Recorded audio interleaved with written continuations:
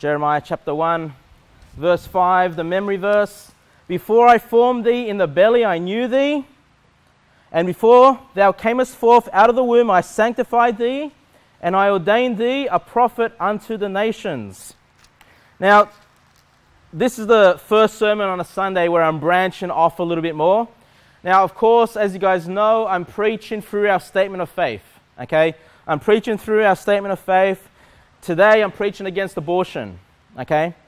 But just to run through some of the, some of the previous sermons that I've preached on Sunday morning, the first one, well, the first one with the church goals, that's not really encountered. But straight after that, we preached on the King James Bible. Remember that? Being our final authority. So I thought that was important to cover that first and foremost. Because all our truth, everything that we believe, everything we practice ought to come from the Bible. Okay? But the next seven things were very important to teach because it revolves around salvation. Okay? And misconceptions of salvation. So, number one was salvation by grace through faith. Okay? So salvation is not of works, it's by grace through faith. That was sermon number one on salvation. Number two was on biblical repentance, okay, understanding how repentance fits in with salvation. Number three was about eternal security of the believer, okay, because some people teach, well, you still got to work your way to maintain that salvation. Uh, number four uh, and number five, well, number four was about the Trinity, and number five was about Jesus Christ being 100% God and a 100% man because there are those cults out there that deny the deity of Christ. So those two topics were important understanding the Trinity and understanding that Jesus Christ is 100% man and 100% God. Um, of course, God said, I mean, sorry, Jesus said, uh, what did he say? I'm paraphrasing here that if you don't believe that I am He, referring to God, then you, you will die in your sins. You're still yet in your sins. So that's why important, it's important to understand that Christ is still is God when you're receiving the gospel. Uh, number, number six was about uh, hell. Okay, because obviously we go out and we're teaching people, hey, you're being saved from hell. You're being saved from your sins, which is the ultimate destination of hell. And then there was water baptism, though I preached that out of order because we had baptisms earlier. But it was about water baptism because, again, you've got those that teach that baptism is a requirement of salvation. Okay, having to teach that baptism is a, a sign of someone that has already believed on Christ. So those things Okay? Those things are vitally important doctrines. Okay? You can see how a lot of those things also revolve around salvation. People that misunderstand those concepts are usually wrong on salvation. They're adding some type of works or some other requirement for salvation. This is the first time we kind of move away from the topic of salvation. Okay, we're going to be talking about abortion. Next week, God willing, on marriage. And the week after that, Lord willing, on creation. Okay, how, how old this earth is and how, this universe, how old this universe is. Now, none of these things are required for someone to, to believe to be saved. Okay, people might, get, might, might be mixed up on these doctrines, but none of those things are a requirement for salvation. Okay? So that's what I mean by we're taking a slightly different approach now with the topics that we're covering. Okay? So going into it, first thing I want you to realize, and look, even though it's not about salvation, it's vitally important. Okay, it's vitally important, and I would hate for anybody in this church to be mixed up on these on these things. I think the Bible is crystal clear on these doctrines. But unfortunately, there are people that are Christians and even believers that are mixed up on the doctrine, especially even on the doctrine of abortion, believe it or not. I mean, I, I thought, honestly, I just thought anyone that had a fear of God, even those that are not saved, you know, believed abortion was wrong. It surprises me that there are Christians, even in the IFB movement, that believe it's okay.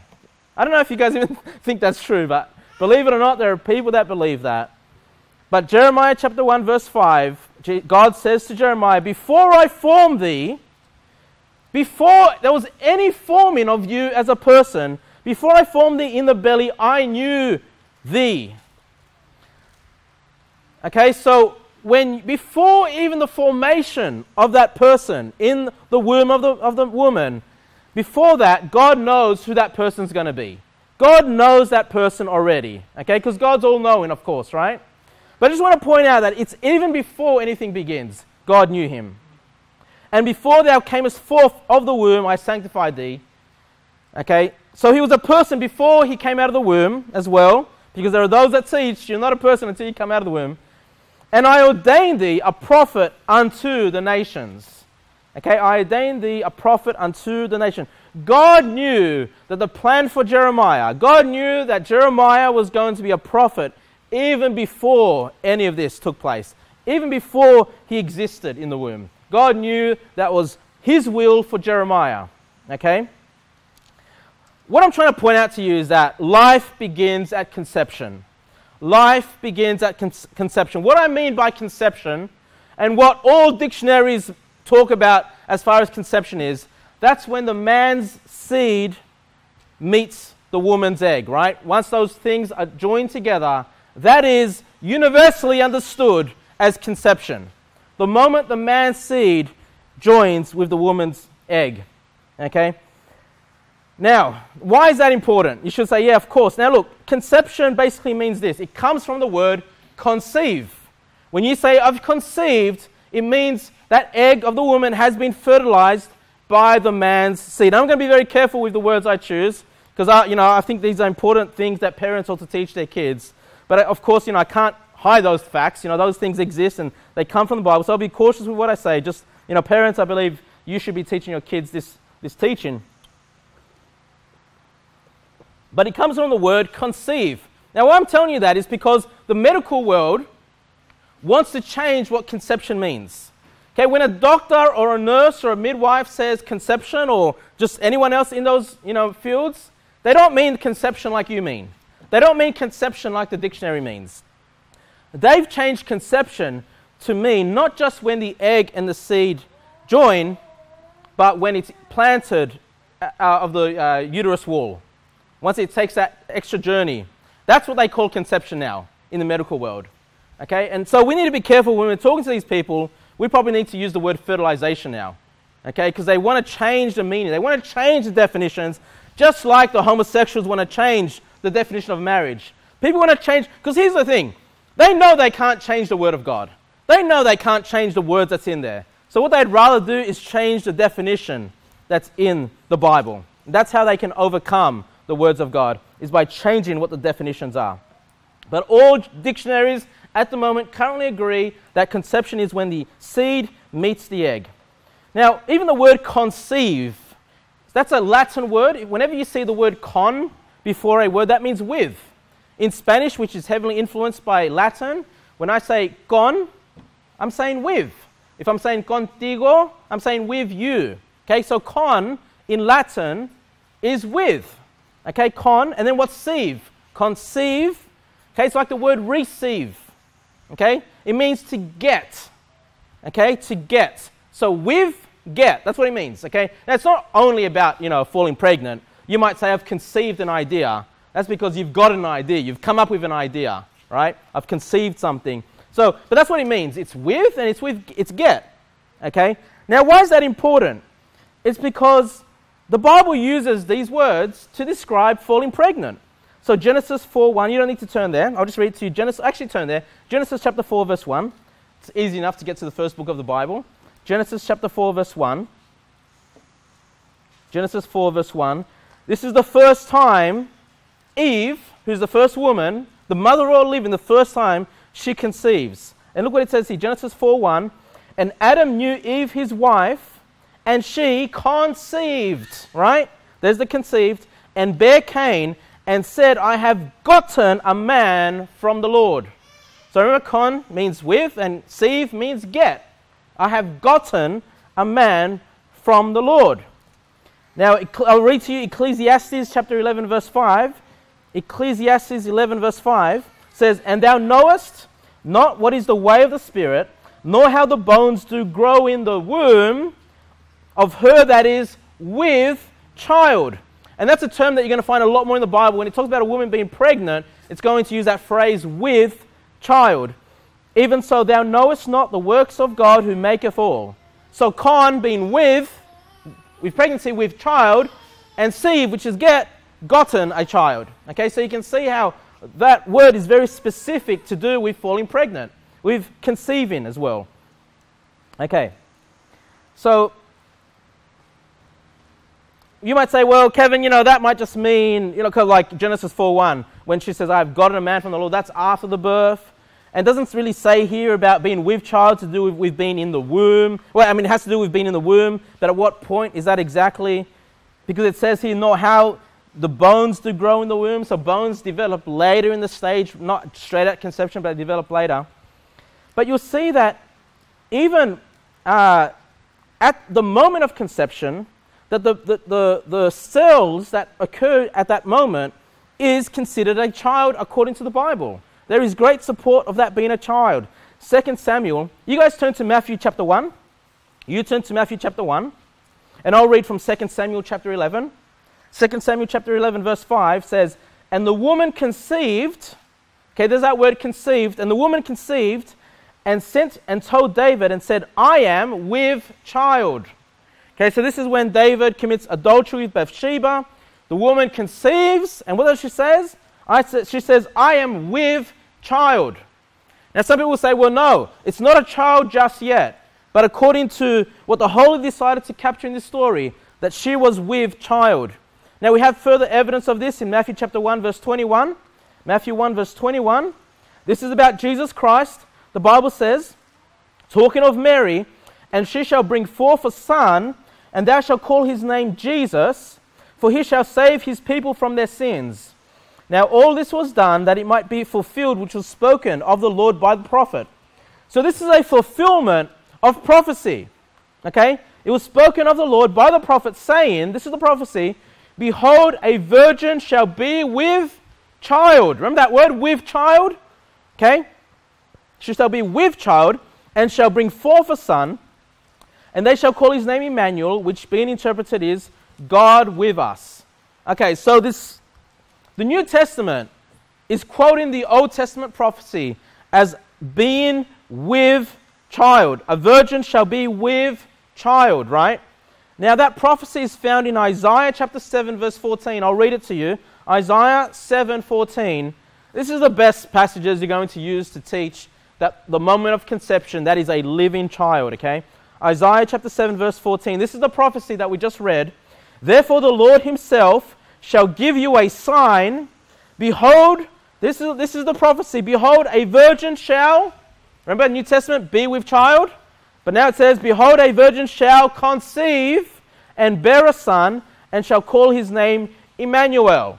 So comparing scripture with scripture, comparing the Old Testament, which said the, the virgin shall conceive, the Holy Spirit saw true, saw, uh, saw right to translate that in the New Testament as a virgin shall be with child.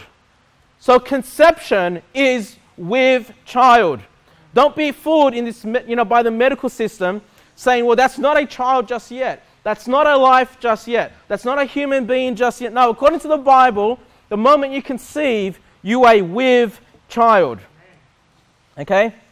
Now, here's something interesting about conception. Now, people have been studying conception for a long time. Scientists have been putting, you know, just in the laboratory, which is, which is an abomination, by the way, but they've been studying and, and uh, you know, um, joining, uh, you know, male seed with the female egg and, and doing all kinds of experiments and, and doing, they've been doing this for decades, okay? But they're still learning new things.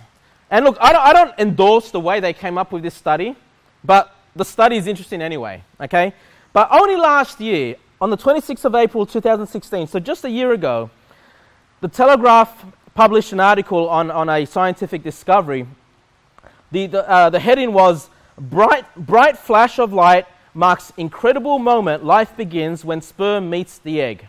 So, a bright flash of light makes, marks incredible moment that life begins when sperm meets the egg. And I'll just read part of the article to you.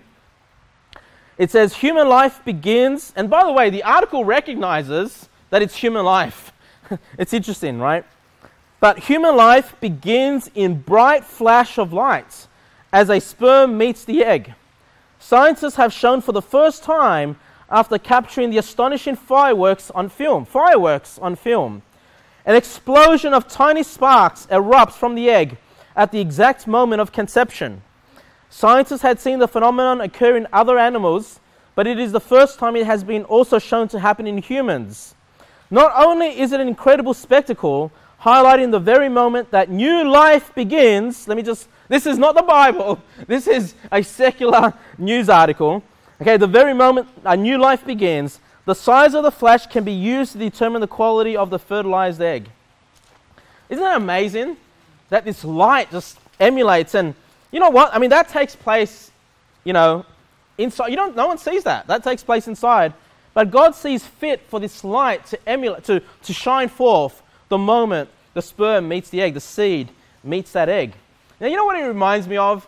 And look, I am using a loose interpretation, right? But immediately when I, when I heard about this, I thought about John chapter 1, verse 4, talking about Jesus Christ, where it says, In him was life, and the life was the light of men. You know, in him was life, and the light was the light of men. I know this has nothing to do with conception, I understand that.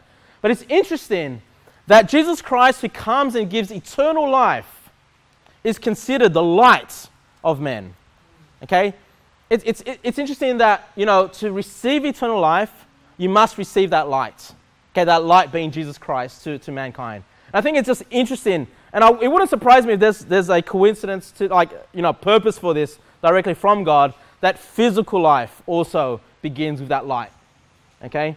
So it's just an interesting thing that I thought was, you know, interesting there. But there is something special about conception. There is something special about that moment that takes place when the man's seed meets the egg, the woman's egg.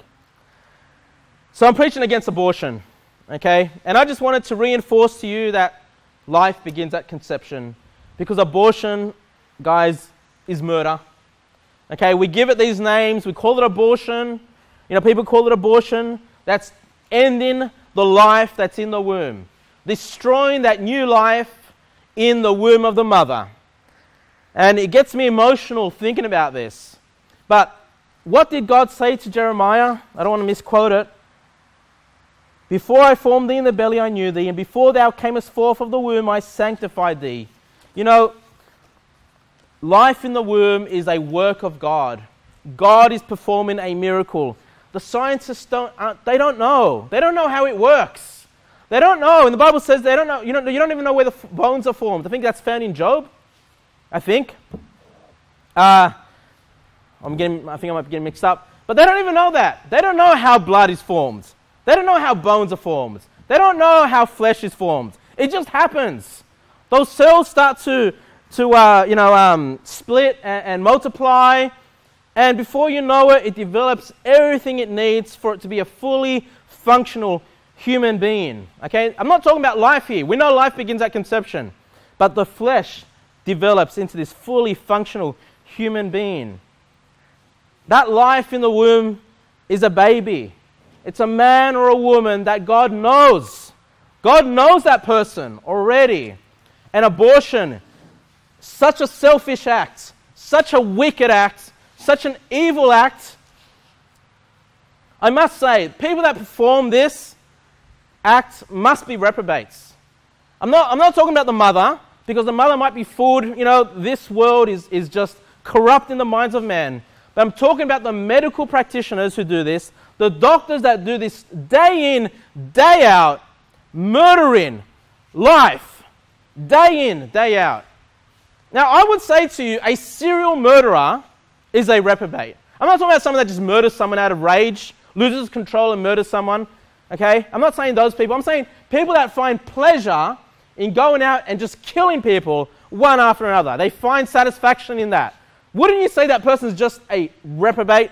Someone that God's rejected, is given a mind, a reprobate mind to. That person's not even human anymore. That person's not natural as we are anymore. That person doesn't even have a conscience anymore.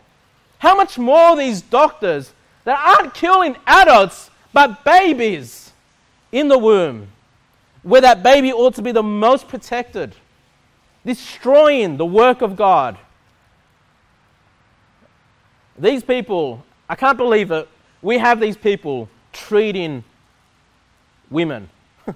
these reprobates, these murderers, these serial killers. That's what they are. That's what they are. And why do they do it? For the profit? It wouldn't surprise me if they find pleasure in it either. It wouldn't surprise me if they love destroying life. They love killing babies. And, uh, you know, I didn't want to, want to read about the procedures. But from what I understand, they try to stab that brain or something, right, to kill it. I don't know. I don't know if they, they always get it, right? But they also try to pull apart that child, rip it from limb to limb, right? Now, you might think that all they're trying to do is destroy it, but no, no, no, no, no. You know, recent reports in America, and doesn't surprise me if in Australia as well, they're trying to harvest the organs. They don't want to destroy it fully. The more complete that little embryo, that little baby is, the more complete the eyes are, and the brains are, and the ears are, and the legs, and the, the greater price they can get for it when they sell it. So not only are they making money by killing it, they're making money by selling parts of it. It's disgusting. It's wicked. It drives me crazy. I, I can't even imagine it. I can't even. I can't imagine that there aren't more, more Christians, there aren't more churches preaching against this. It seems crazy to me. It's the Roman Catholic Church.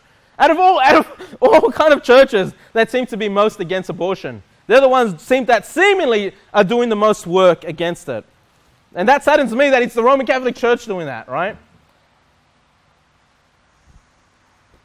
Now, I've been an independent Baptist for about 14, 15 years.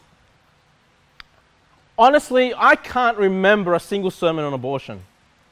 I, I, I can't. I can't remember a sermon against it. I, I, don't, I don't know why that is. Did I just miss it? Did I not turn up to church on that day? I don't know. But we see the importance of life in the Bible. Now, aborting a child, you know, killing a child, that's not the end of it. There are side effects for the, for the mother that goes through that. There are physical, obviously, there are physical side effects. Any kind of surgery is going to have side effects, especially this. You know that there's surgery to save your life. There's surgery to make your life better. You know, because you might be deformed or have some difficulty like that. There's, I, I understand doing that. But having surgery when you're not even sick, in fact, my wife tells me she feels healthier than ever when she's pregnant. Right? Because there's a kick, kick of hormones in the body. You know, the body's trying to look after, protect that baby, at the same time protect that mum. You know, you know, of course, there's all those, you know, there's the morning sickness, there's all that kind of stuff that goes on with it as well. But your body's trying to look after you as much as possible and as well as looking after that baby's life. You know, you're not even sick, you're probably at the best health in your life when you're pregnant. And they're destroying their bodies, destroying the life when they do abortion. It Makes me sick.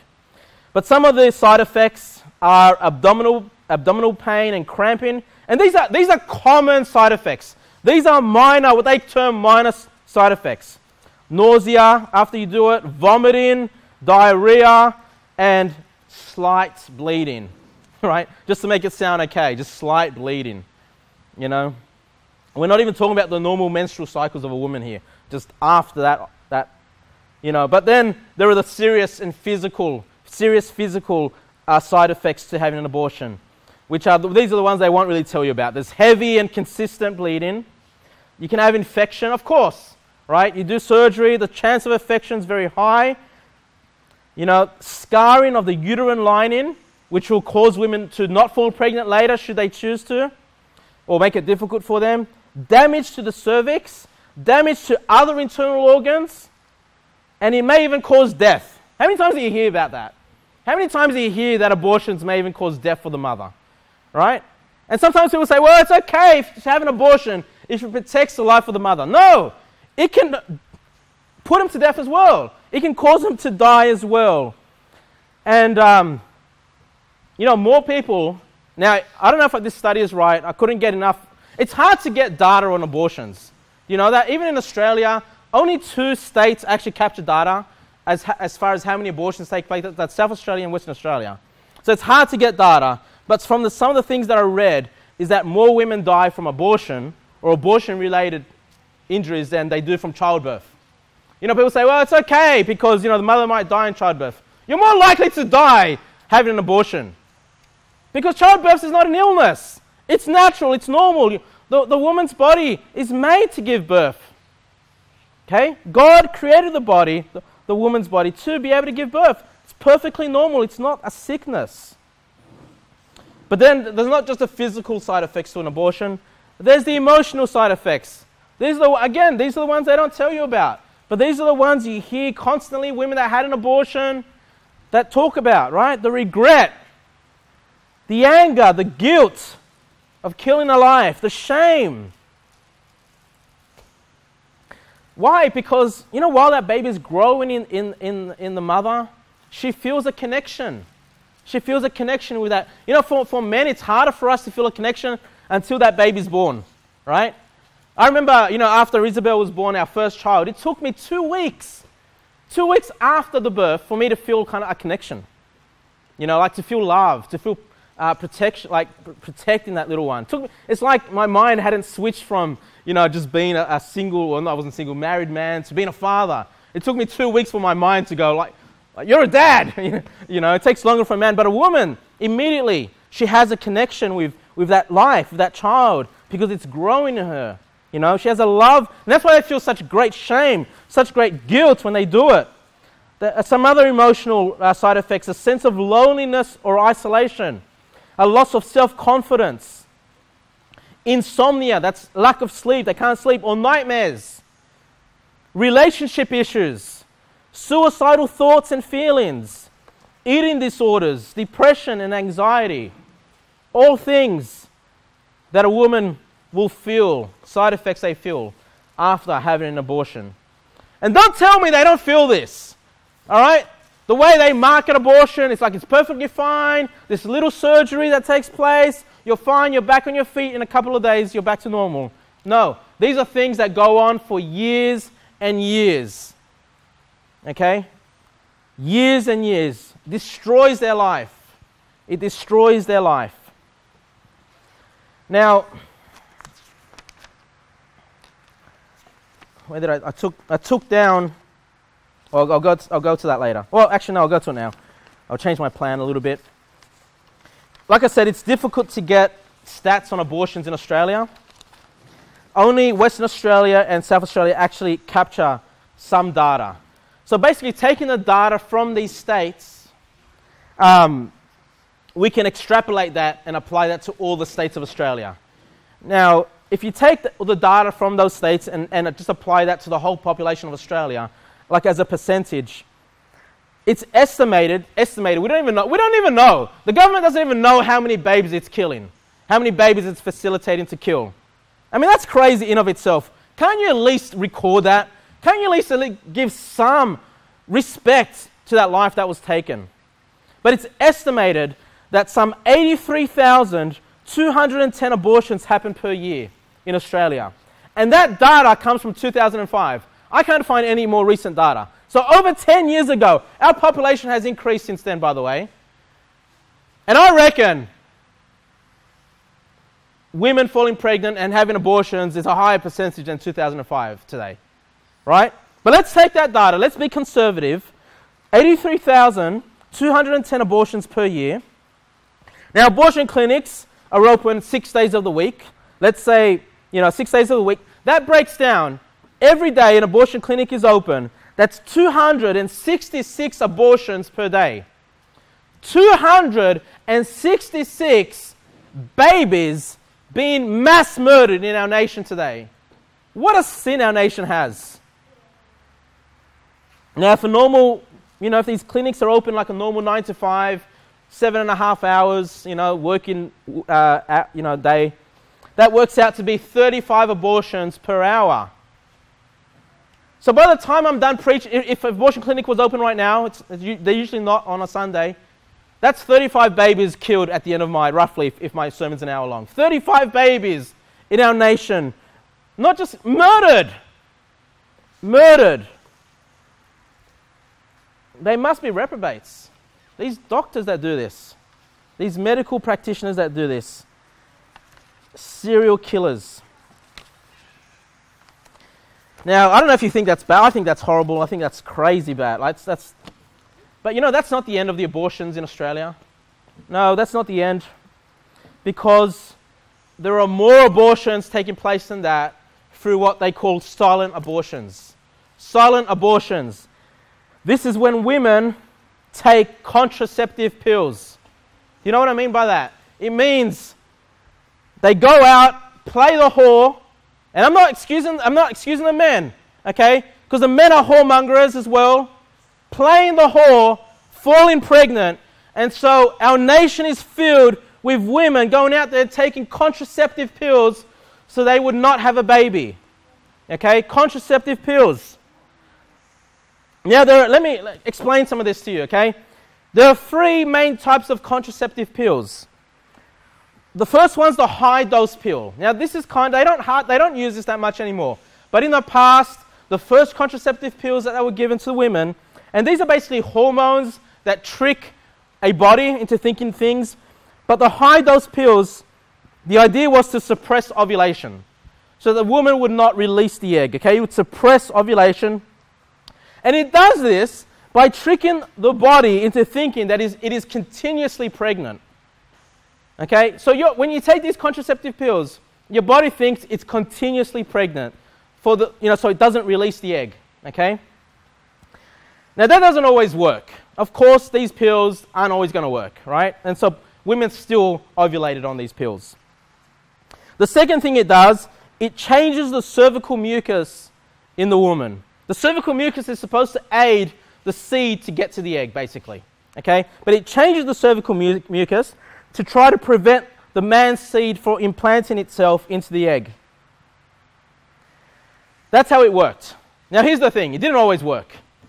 Okay, these high dose pills didn't always work. Okay, but there were side effects to these pills because they're high dose. There's a high amount of um, hormones and estrogen, and it's playing up with the woman's body. Why? Because a woman is not meant to be continuously pregnant all their life, right? They're only meant to be pregnant for that nine month period. The body takes a break, and then later on, they can fall pregnant again. But some of the side effects of this high dose pill were blurred vision, nausea, weight gain, painful breasts, cramping, irregular menstrual bleeding, headaches, and possibly some studies linked it to breast cancer as well. And so, because of the complaints, because of these side effects, and because it didn't always work, they came up with a new pill, the low dose pill. Okay, the low dose pill. So it's there's less hormones, it's not as, uh, as, as pa- uh, powerful and harmful to the body. Okay? But here's the thing because it's a low dose pill, that means it doesn't suppress ovulation as much as the high dose pill. It doesn't change the cervical mucus as much as the high dose pill. Meaning that a woman was, is more likely to fall pregnant on these low dose pills, right? Because it doesn't work as effectively as the high dose. So they had to come up with a third thing for these pills to do. And that is to uh, create a hostile environment in the uterus so it prevents implantation. So after the seed meets the egg, it travels down the fallopian tube of the woman and it attaches to the um, heavy layer of blood of the uh, uh, uterus wall. Okay? And if I've got this wrong, ladies, I apologize. You know, um, you know I, I, did my best to look at this without trying to, because uh, I, I hate abortion. I don't even like looking it up. All right? But basically, it makes it a hostile environment.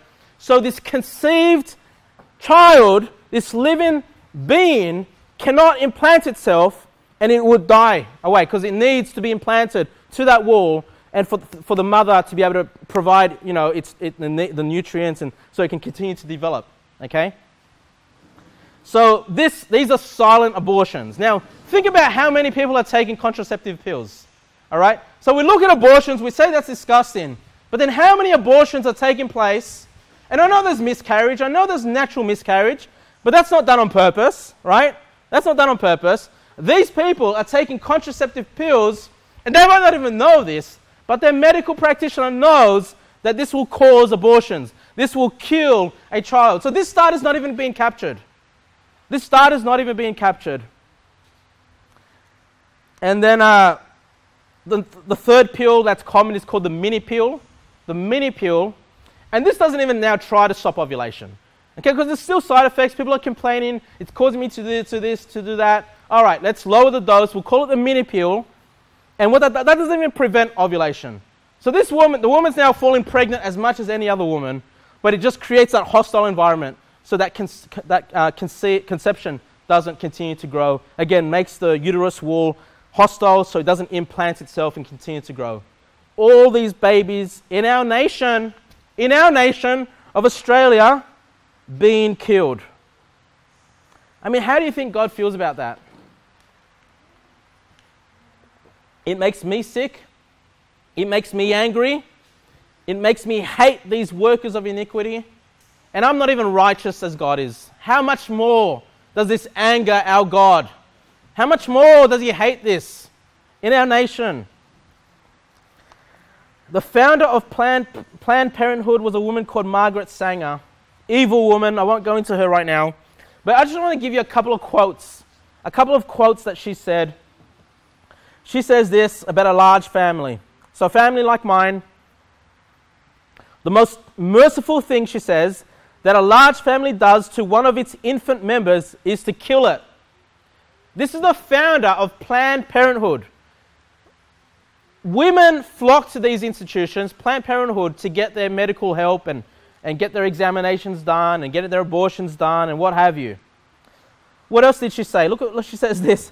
It is interesting to note, she says, that there is no hesitation to interfere with the course of na- nature when we desire to eliminate or prevent a, a superfluity of rodents, insects, or other pests. So she's going to compare human life to insects, rodents, and other pests. But when it comes to the elimination of the immeasurably more dangerous human pest, so human life is more dangerous than rodents, more dangerous than insects and pests. She says we blindly adhere to the inconsistent dogmatic doctrine that man has a perfect right to control all nature with the exception of himself. This is straight out against the Word of God. The reason why man can control all nature is because God gave Adam dominion over all things on this earth. Did you know that? We read about that in Genesis. God gave Adam dominion over all the earth. Okay? But he never gave right for a man to take another man's life. Never. Okay? Murder is always wrong. Now, you might think, well, that's the end of the abortions, right? We have the abortions done in the clinics, and then we have the silent abortions with the contraceptive pills. That's not the end of it. there are people, there are women that can't fall pregnant, and they probably can't fall pregnant because of all the contraceptive pills they take, right? Creates a hostile environment, and then when they want to fall pregnant, they find they can't. Because their body doesn't want to receive, right? The body doesn't want to fall pregnant anymore. It's damaging. And so what they do, they take IVF, right? IVF, in vitro fertilization. Instead of falling pregnant the natural way, instead of trusting the Lord and putting their prayers to the Lord, the world and even Christians turn to IVF to fall pregnant. Now, if you don't know what IVF is, a woman takes a hormone that stimulates egg production. So instead of releasing, you know, one egg per month roughly on average, once they take this hormone, they release 10, 15, 20 eggs at once. Okay? Unnatural. Those eggs are then retrieved from the woman's ovaries. Okay, so you got some electric sur- uh, surgery taking place. So you're already putting yourself in harm's way, right? So these eggs are harvested. And then the mature eggs, more, you know, it's, it's, all, it's usually more than 10. Those mature eggs are taken and implanted with the seed of man, okay, the sperm of a man, okay, in a petri dish. In a petri, not in a woman's womb, not where it's safe and God's intention is for it to take place, but in a petri dish, that egg is forced to conceive that egg, right? To fertilize that egg, I should say. Now, what did God say? He knows them, right? We know that from the moment of conception, it's a child. And so, in these petri dishes, there is life being made, okay? 10, 15, 20 new life, new babies being made in these petri dishes. Then what do they do? They find the best, the strongest, you know, the one that's going to probably, you know, survive, and then they insert that back into the woman. What happens to the others? Discarded, killed. That's what happens to it. Discarded, not needed anymore, or frozen, right? Frozen because IVF is very expensive. So if it doesn't work the first time, they try to freeze the others so the woman has other turns instead of doing that whole procedure again. Human life frozen probably discarded at some point as well, right? Once, once they don't need it anymore, discarded. Now, why is that different to miscarriage? Because miscarriage, you lose one at a time, naturally, not intentionally. This is miscarriage, purposely miscarriage. This is murder. 10, 15, 20 life forms, children at once. It's wickedness. And we have Christians doing this procedure. I hope, ladies, and, you know, I think,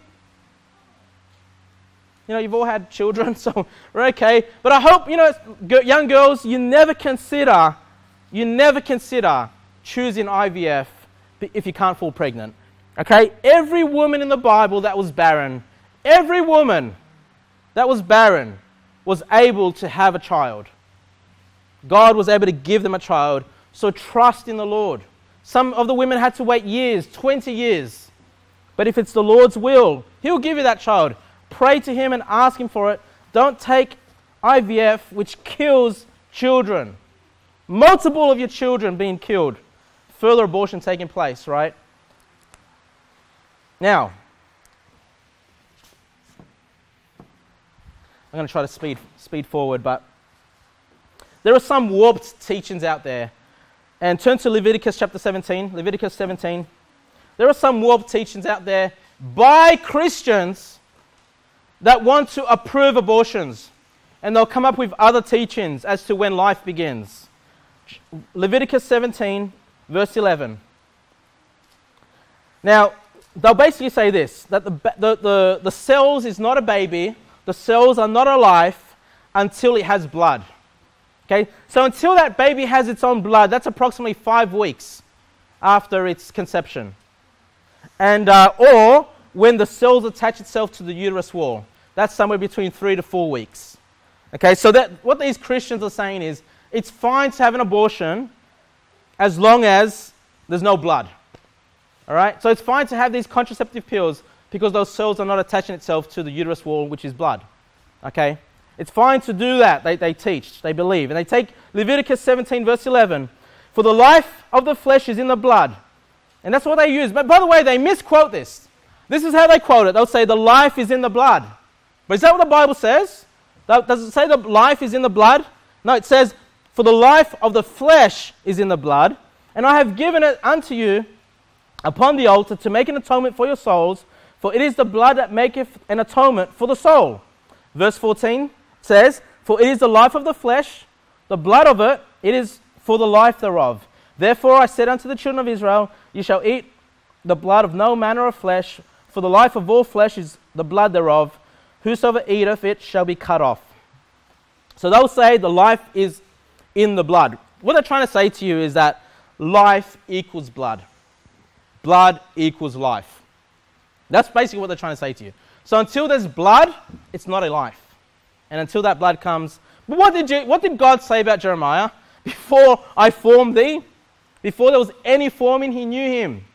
Was there a life? Yes, there was, right? But that is so ridiculous because I'll just skip some of these things that I've got here. But, you know, a dead body, someone that dies, it still has blood. Did you know that? And that, they will still bleed for about 10 hours after death until that, that blood um, hardens and, and thickens. And then, you know, it's harder for that dead body to bleed. But when a person dies, do they still have blood? Yes, they do. Does that mean they're still alive? Does it mean blood equals life? Right? Because if a dead body still had blood, that would mean it's still alive. But what does the Bible teach? It says that when the soul and the spirit depart the body, that's when there's life. Uh, sorry, that's when, that's when the body dies. Right? when, when the soul and spirit depart the body, that's when it dies. It's not about the loss of blood. Now, loss of blood can cause you to die, obviously. The blood is important, right? We'll cover why that is in a minute. But someone that loses blood, let's say they get shot, they lose a lot of blood, and they die from blood loss. Does that mean we can take that body and, and um, you know, do a blood transfusion on it, bring in new blood, fill it with blood, and it will come back to life? No. So, does blood equal life in that sense? No. Is this passage in Leviticus teaching that not, it's not a life till there's blood? No, it doesn't teach that, right? Because that doesn't make any sense. Also, can, and this is basically why the Jehovah Witnesses do not do blood transfusions because they think blood equals life. So if they put someone else's blood in their body, they think, well, what, what who am I? right? What is this life that's going in me, right? And that's why they refuse it. They misunderstand this passage like other Christians do that try to support abortion. or at least silent abortions. But Genesis chapter 2, verse 7 says this is when God created Adam. He says, And the Lord God formed man of the dust of the ground. So God forms man. Now, I, I think it's perfectly reasonable to say this is a fully functional human being in the sense that it's got all its organs, all its bones, it's, it's prepared to work, right? That would mean it have the, Adam would have blood, he'd be ready to go, right? He formed man of the dust of the ground, but then what happened? And breathed into his nostrils the breath of life. And man became a living soul. So, how did life come to Adam? God breathed into his nostrils the breath of life. Now, if life equals blood, that would mean God breathed blood into his nostrils, right? Of course not. God breathed life. Why? Because life is required to make life. And then Eve, she came from the rib, again, but from a from living organism, life was created. And from then on forward, all human life was through conception. So God did not have to breathe blood into Adam to make him live, right? He already had the blood, but he wasn't living. So blood does not equal life in that sense. What is being taught in Leviticus 17 is that blood sustains life. Okay, you need your blood because it carries the nutrients, it carries the oxygen through your body. That is what sustains someone's life. Not that it is life in of itself, but it keeps you living, which is why it says, for the life of the flesh is the blood. Okay, because flesh, your human flesh today needs the blood to sustain itself. Hey, but when you die and you go to heaven and you don't have a physical body just yet, are you alive? Of course you are. You're more alive than you've ever been. You're in the presence of, the God, of God, your soul, spirit, with the Lord. No blood. Does that mean you're not alive? No, you're alive. Because life, blood does not equal life, it sustains the life of the flesh. That's the teaching of this, okay? It's not saying that it's fine to terminate a pregnancy when it, that, uh, those cells still haven't hasn't generated its own blood. Then you've got some other crazy teaching out there. And this is even more wicked than that. Is that it's not a life until the baby's born and takes its first breath. That's just crazy. I, don't know if, some, I think you guys know who Peter Ruckman is an IFB pastor, independent fundamental Baptist pastor, and his followers are normally referred to as Ruckmanites. But Peter Ruckman taught this, and these are his own words. He says, I do not teach that abortion is murder. Although I grant that a fundamentalist can teach that if he wants. I don't teach it for two reasons. In the first place, the clear scriptures in Genesis 2, remember what we read about Adam, as well as Job 30, 31, and Ezekiel 37. I haven't got time to go through those passages. But he says, they teach that there is no life in the human sense until there is breath. there's no life until there's breath, until that baby takes its first breath.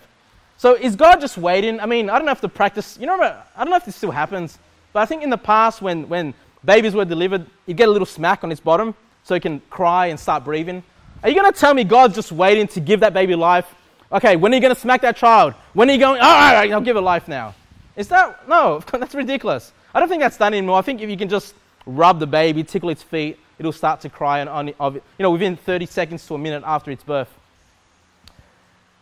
But it's, it's crazy teaching.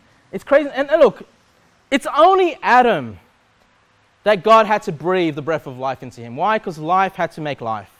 Right? And then life generated from there on forwards, okay? God doesn't sit there waiting for every baby to be born to breathe its you know, breath of life into it. Okay, it, it's something specific to Adam. If you've not been made from the dust, literally in that sense, then you know this doesn't apply to people. This applies only to Adam. That's the context of that passage. It's crazy. It's crazy. Does that mean as soon as that baby's born, you've got 30 seconds to kill it, and then that wasn't murder until it's taken its first? I mean, this is independent fundamental Baptists, and there are. Cr- What's that? Sam Gipp.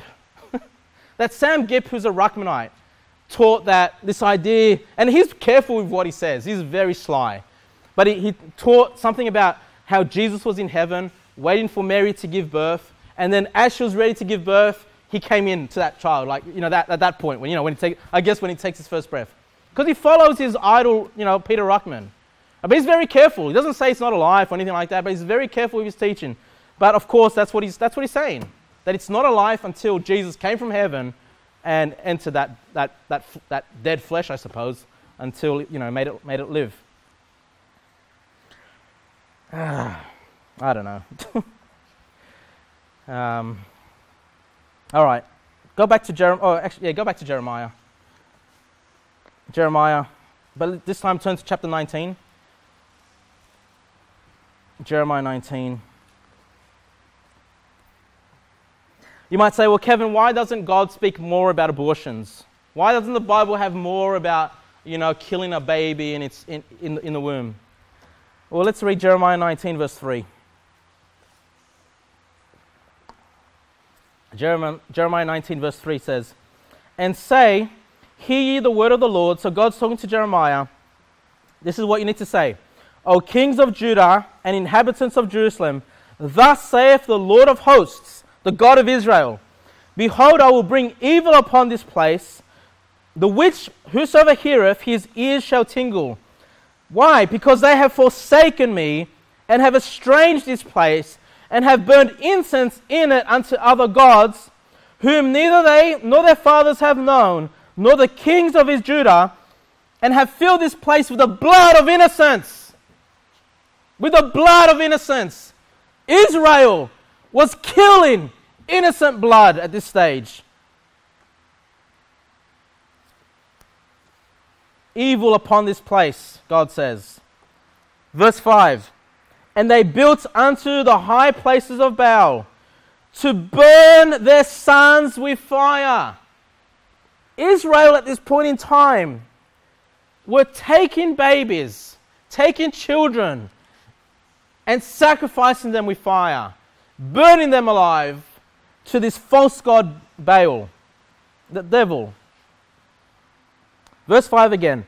They have built also the high places to Baal to burn their son, sons with fire for burnt offerings unto Baal, which I commanded not nor spake it, neither came it into my mind. I mean, it's hard to think that God can be shocked. Doesn't God know all things?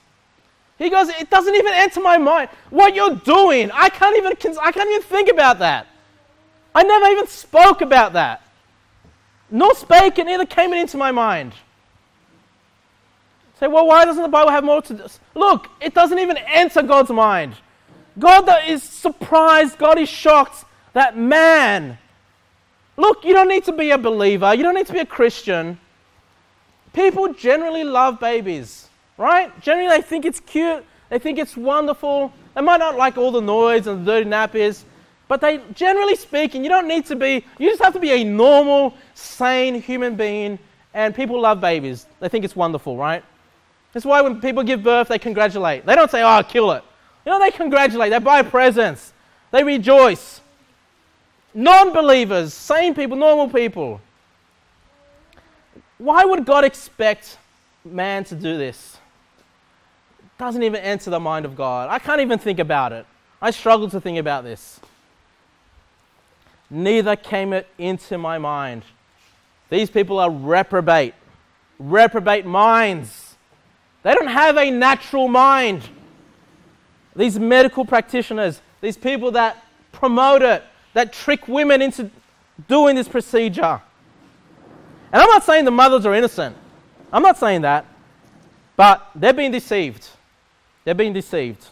Just because you're deceived doesn't mean you're innocent.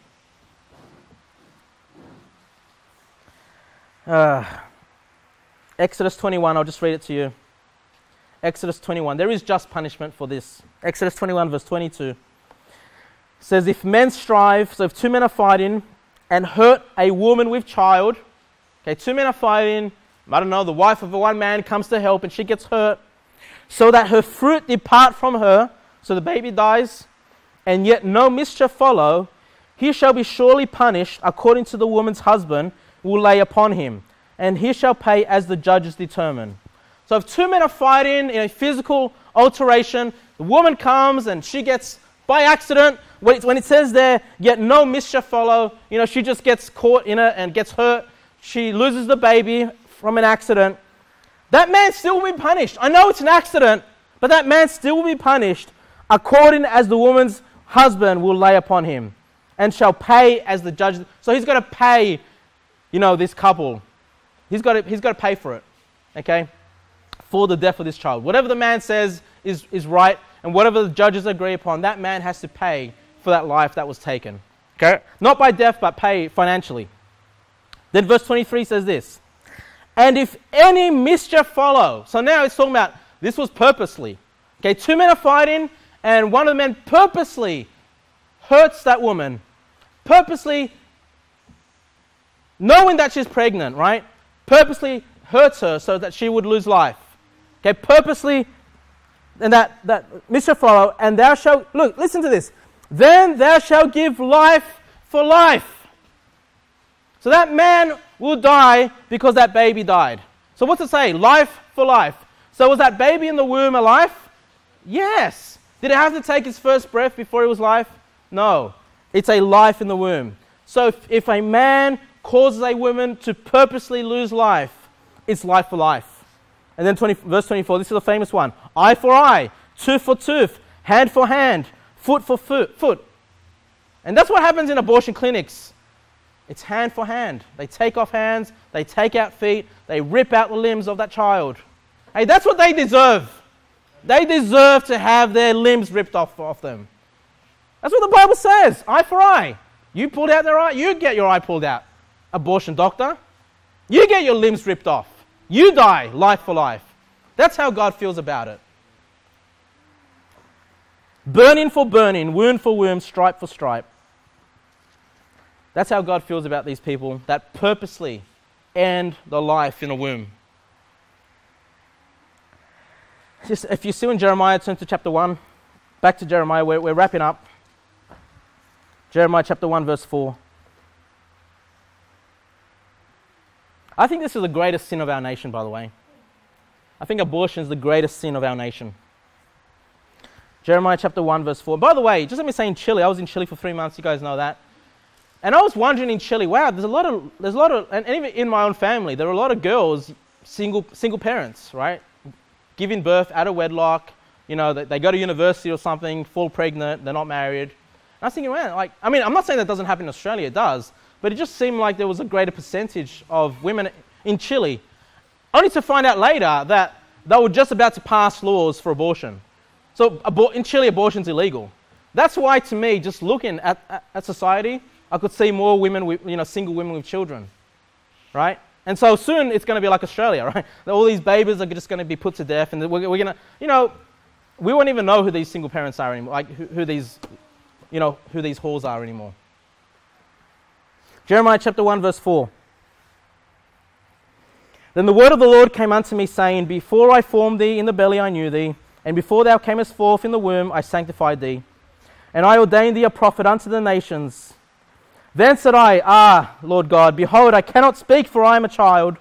But the Lord said unto me, Say not, I am a child, for thou shalt go to all that I shall send thee, and whatsoever I command thee, thou shalt speak. Be not afraid of their faces, for I am with thee to deliver thee, saith the Lord. Then the Lord put forth his hand and touched my mouth. And the Lord said unto me, Behold, I have put my words in thy mouth. See, I have this day set thee over the nations and over the kingdoms to root out and to pull down and to destroy and to throw down, to build and to plant. My point of this passage is we didn't read this chapter for no reason. Not only did God know Jeremiah before he was formed, not only did he sanctify him in the womb of the mother, but he ordained him to be a prophet to the nations. He ordained him to be a prophet and to proclaim boldly the word of God. My point is this why is this nation spiraling out of control? Why is this nation wanting two men to marry, two women to marry now? Why is this nation promoting abortions and all this? I just wonder how many men of God may have been upon this earth had they not been aborted. What if Jeremiah, Jeremiah's mother said, You know what? I'm going to have an abortion. There would be no Jeremiah. This plan that God had for this life. How many pastors, how many missionaries, How many soul winners are being put to death? And some will say, well, what's wrong with it? You know, these children go to heaven anyway. I believe they go to heaven. I believe they go to heaven. But how many people are being stopped? How many preachers that God has their plan for their, His will for their life to be great missionaries, great men of God, preaching the gospel? How many are being put to death? It impacts a nation. It impacts the nations. We need to speak out against this sin. We need to speak out again. Any chance I'm going to get when I preach in the future, I'm just going to keep preaching about this. We'll keep putting on YouTube whatever. I don't care, whatever. It's the great sin of our nation. I want to be like Jeremiah. You know, yeah, I'm a child. I, I, you know, I'm nothing but a man. I'm nothing without the Lord. I want to speak the Lord's words. God hates abortion. God wants to kill these people, these serial murderers. That's what they are. These serial killers. God wants them dead. Now, in conclusion, you might say, you know, I've had an abortion in the past. I don't know. Maybe you have. Maybe you've had a silent abortion, you've taken contraceptive pills, and you know, maybe you didn't even, you didn't even know. I don't know. And uh, maybe you've had those side effects, the regrets and the, the shame and the suicidal thoughts. I don't know. You know, and you might say, well, Kevin, you know, this sermon just upsets me. You know, I already made mistakes. But our children need to know. For those that have not yet made these mistakes, okay?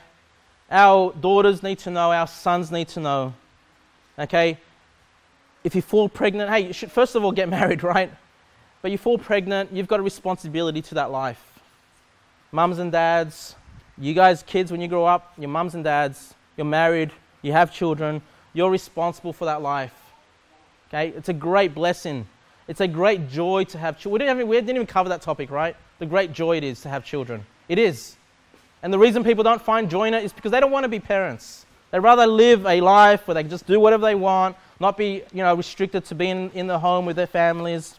And that's why they don't find joy in their, in their children. But there is great joy in having kids. Yes, there's great sorrow to give, bring them forth. But then there's great joy when you have those children, when you nurture them, when you raise them, when you love, your, your love grows. People say to me, How can you have nine kids? How can you love them all? Your heart grows, your love grows, your joy grows. This sermon is for the children so they don't make the same mistake that our generation made.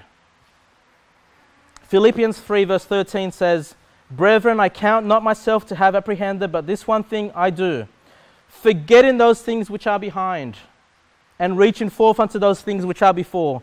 I press toward the mark of the prize of the high calling of God in Christ Jesus. If you've made this mistake in your life, the recommendation is forgetting those things that are behind. Forget it, it's done. Confess it to God, He's forgiven you. Okay? And reach forth unto those things which are before. The high calling prize. The prize of the high calling of God in Christ Jesus. Let's pray.